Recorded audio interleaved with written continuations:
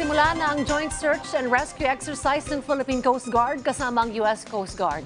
Lain po nitong paigtingin ang pagtutulungan ng dalawang puwersa pagdating sa pagresponde sa iba't ibang senaryo sa karagatan. Si Patrick De Jesus sa detalye, Rise and Shine Patrick.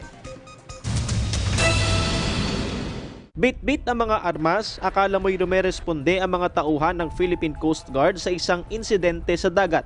Pero ang eksenang ito, bahagi lang pala ng isang counter-piracy drill na parte rin ng Joint Search and Rescue Exercise ng PCG at US Coast Guard na idinaos 40 nautical miles mula sa Mariveles, Bataan sa may West Philippine Sea nitong biyernes at sabado.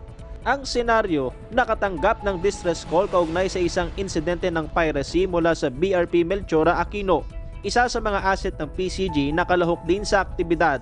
Agad rumesponde ang dalawang PCG Law Enforcement Afloat Detachment Team mula naman sa BRP Gabriela Silang sakay ng isang rigid-hulled inflatable boat para tugisin ang mga kunwaring sospek. Apat na dummy victim naman o replika ng kunwaring pasahero mula sa BRP Melchora Aquino ang nalaglag sa dagat. Dito'y kinasang isang search and rescue operation kasama ang crew ng US Coast Guard mula sa WMSL 757 Cutter Midget. Nagtagal ang paghahanap sa mga kunwaring biktima ng limang oras o mula alas 9 ng umaga hanggang alas 2 ng hapon. Pero tatlo lang ang narecover. Ayon sa PCG, malaking hamon ang masungit na panahon bunsod ng bagyong Henry sa isinagawang search and rescue exercise dahil sa ulan at mataas na alon sa karagatan. Hindi rin nakalipad ang helicopter at drone ng USCG at Cessna Caravan ng PCG para sa aerial survey demonstration. being a CEO and then sa mga personnel, it's a test of courage and mental stability yan. Kasi katulad ng mga ibang, kasi na-witness naman po ng ibang mga media na kasama namin yan, hindi rin po biro yung hindi ka nakakatulog for the past two days dahil sa sa gulong ng alon. Halimbawa sa mga personnel natin, meron naman yung mga bagong sampa lang. And then marami na yung, of course, yung sabi ko nga, yung mental stability during the the hardships ng training na yan. May mga personnel na yung sumusuka na, hindi na nakakakain. Meron nga, pagdating lang namin, yun lang kumain eh, for the past two days. Pero those were part of the ano eh, dyan na yung, dyan nalalabas yung trainings mo during bago ka pumasok ng serbisyo.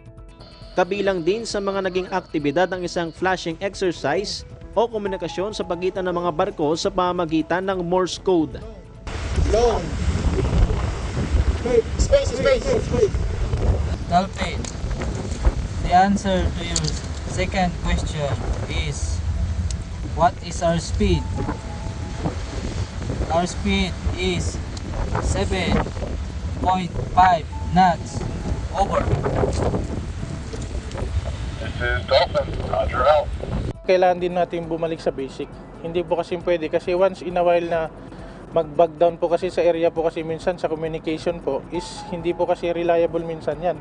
Layon ng Joint SAREX ang pagpapabuti ng interoperability ng parehong Coast Guard forces, lalo na sa pagresponde sa iba't ibang maritime incidents.